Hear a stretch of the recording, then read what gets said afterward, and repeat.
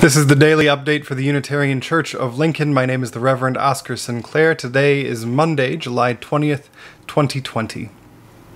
So, this week in these updates, I'm hoping that we can spend some time talking about change. This has been a year of change at the Unitarian Church of Lincoln. It was a year of change before the pandemic, and it is much more so now. So, over this week of daily updates, I hope to take some time to talk about change in churches, how it happens, why it happens, how it is both, in Jurgen Moltmann's still lovely formulation, a continual problem and a continual opportunity.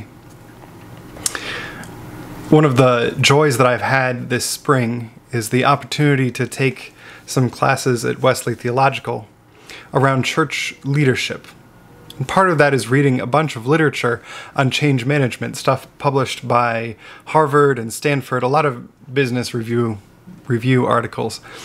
And that is important. We as churches are not as unique as we often think we are. But we are a church. And that means that we should ground this work of change in theology.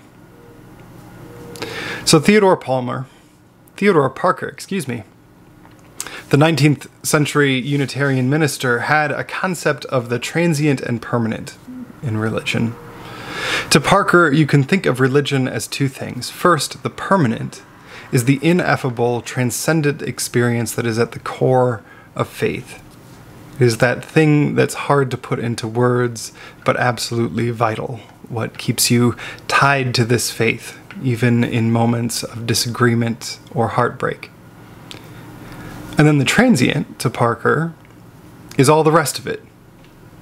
And Parker was writing in the context of Unitarian Christianity, so he put it this way Anyone who traces the history of what is called Christianity will see that nothing changes more from age to age than the doctrines taught as Christian, and insisted on as essential to Christianity and personal salvation.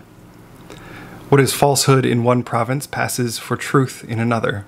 The heresy of one age is the orthodox belief and the only infallible rule of the next.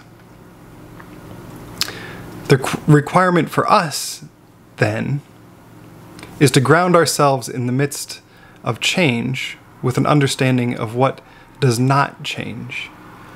To make the distinction between the transient and the permanent. The, the, what is permanent is the essence of who we are and what our faith proclaims. And if we have an understanding of that, then we can be confident in changing the rest.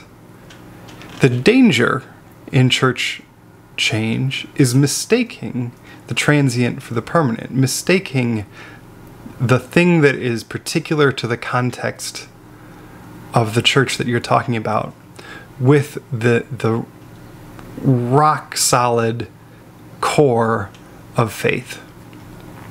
So knowing which is which is really important. The pandemic changes a whole lot of what's transient, right? But the pandemic does not and cannot change the permanent in our faith. Now, that does not mean that change is easy, and that's where we'll pick up tomorrow. For now, have a good night, and I'll see you tomorrow.